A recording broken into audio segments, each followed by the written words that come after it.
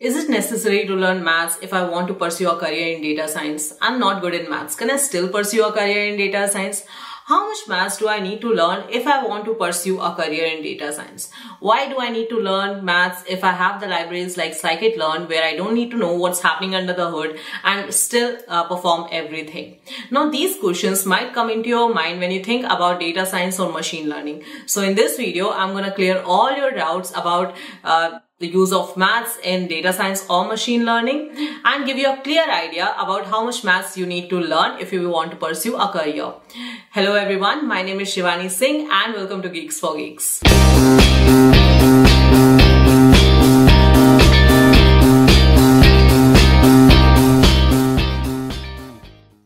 Mathematics is an essential part of data science. You may have applied it if you're working on some projects uh, while analyzing or cleaning your data. Maths is the heart of machine learning algorithms. You may have applied it using Python libraries like scikit-learn. But have you ever wondered like how these algorithms work internally, how the final result is being calculated? When you study machine learning in depth, then you will get to know that there's a lot of math involved in producing the final result. If we take example of RMSE, root mean square error is the preferred performance measure of regression models. Now RMSE measures the distance between the vector of predictions hxi and vector of target labels yi. It is the root of sum of the squares of these distances. How do we do this on large arrays of data? All thanks to vector and linear algebra. Now I hope with this example, it's a little bit clear to see mathematics as a part of data science. Let's just start with the fields of mathematics that you're going to encounter while working on different algorithms in data science and where you will be using them. First, let's just start with basic mathematics. So if you have opted for maths in your 11th or 12th grade, you must be familiar with these concepts. You just need to recall them and see their implementation in your data science algorithm. Some of the mathematical concepts are like functions. You should be familiar with what is logarithmic function, exponential function, polynomial function. And the second point is like you should be familiar with basic theorems, geometry, trigonometry, and then what is real number, what is complex number, etc. And then you are good to go. Second is statistics. Why is this important? Statistics allow us to derive knowledge from large data sets and then this knowledge can be used to make predictions, decisions and classifications. Many companies are using statistics like Netflix, Amazon Prime, Hotstar. These companies are using movie recommendation systems where they do statistical analysis to gather what kind of movies you like, what kind of uh, movies people like your age, your background like and then they recommend you movies and TV shows. You can also use statistics in weather forecasting, classification and time series analysis. You can analyze what will be the price of a stock in the upcoming days. Now these results are not 100% accurate and they might give you some wrong predictions as well. Statistics is about making a decision based on current trends. It tells you what should be done based on these particular data. Statistics is used in projects like medical research, stock market analysis, sales projection and weather forecasting mathematical concepts you should be familiar with. First one is data summaries and descriptive statistics, central tendency, variance, covariance, correlation, basic probability concepts, calculus, Bayes theorem. Then uh, you have sampling, you have measurement, you have error, you have random number generation, then hypothesis testing, A-B testing, and finally linear regression.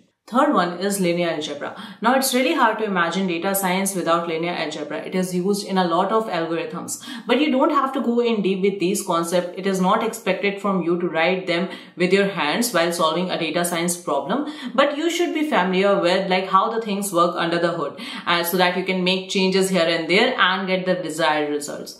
You already have used linear algebra if you have performed principal component analysis to reduce the dimensionality of your data. All neural network algorithms algorithms use linear algebra techniques to represent and process network structures and learning operations. Topics you should be familiar with are basic properties of matrix and vectors like scalar multiplication, linear transformation, transpose. Second one is inner and outer products, matrix multiplication rule, matrix inverse, Third one is matrix factorization concept, uh, LU decomposition, Gaussian, Gauss-Jordan elimination, solving AX equals to B, a linear system of equation. So these are the concepts that you have to make yourself familiar with in linear algebra.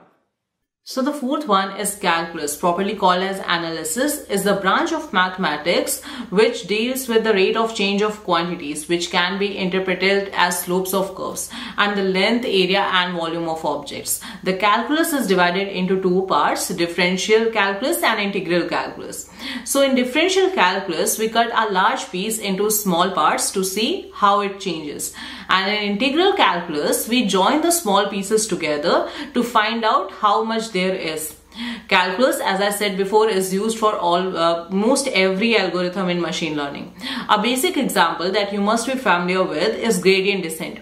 Gradient measures how much the output changes if you change the inputs a little bit.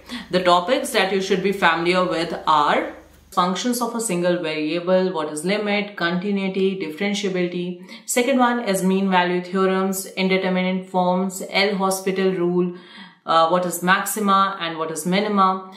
Uh, third one is beta and gamma functions. Fourth one is uh, functions of multiple variables, limit, continuity, uh, what is partial derivatives, and finally basics of ordinary and partial differential equations. Finally, I want to talk about our fifth point that is discrete math. Now, if you're from an engineering background, you must have gone through this subject in your first year or second year. And it was pretty easy to understand and solve. Here we work with sets, subsets, basic proofing techniques like induction, proof by contradiction. Then we work with basics of inductive, deductive and propositional logic. We have seen the data structure concepts like stacks, queues, graphs, arrays, hash tables. Then we have worked with graph properties like what is connected components, what is the degree, and what is graph coloring. Then finally, we cover this with ON notation concepts. Now this will be used in knowing how the system change when you increase the input data size. You need to understand what is the time and space complexity basically by understanding the big O notation concept. I hope now it's clear to you how much math is needed and what topics you should revise or make yourself familiar with. If you're an engineer, some of these topics are already covered in your college syllabus and for the rest of you, just get yourself familiar with the above mentioned topics and you're good to go.